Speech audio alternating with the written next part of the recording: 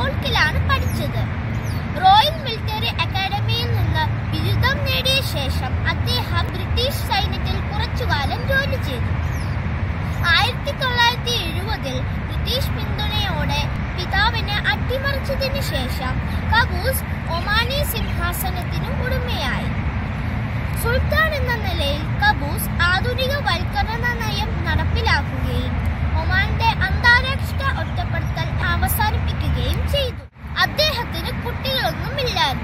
അതിനാൽ ഒമാനിലെ രാജകീയ കോടതി അദ്ദേഹത്തിന്റെ മരണശേഷം അദ്ദേഹത്തിന്റെ രഹസ്യമായി വെച്ചിരുന്ന കത്ത് തുറക്കുകയും അദ്ദേഹത്തിന്റെ ബന്ധുവായ ഹൈദം ബിൻ താരിഖിനെ ഒമാനിലെ സുൽത്താനായി തിരഞ്ഞെടുത്തു.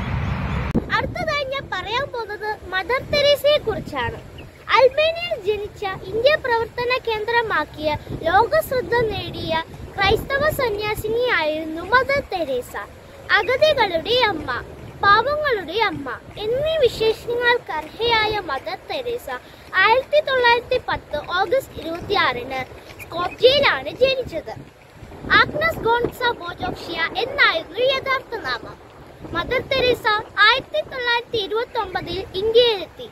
മിഷണറീസ് ഓഫ് ചാരിറ്റി എന്ന കത്തോലിക്ക സന്യാസിനി സഭ സ്ഥാപിച്ച് പാവപ്പെട്ടവരുടെയും അനാഥരുടെയും രോഗികളുടെയും ഇടയിൽ പ്രവർത്തിച്ച മദർ തെരേസയ്ക്ക് ആയിരത്തി തൊള്ളായിരത്തി എഴുപത്തി ഒമ്പതിൽ സമാധാനത്തിനുള്ള നോബൽ പുരസ്കാരം നൽകപ്പെട്ടു.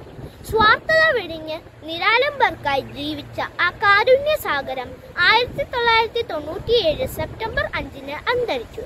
രണ്ടായിരത്തി പതിനാറ് സെപ്റ്റംബർ നാലിന് മദർ തെരേസയെ ഫ്രാൻസിസ് മാർപ്പാപ്പ വിശുദ്ധയായി പ്രഖ്യാപിച്ചു.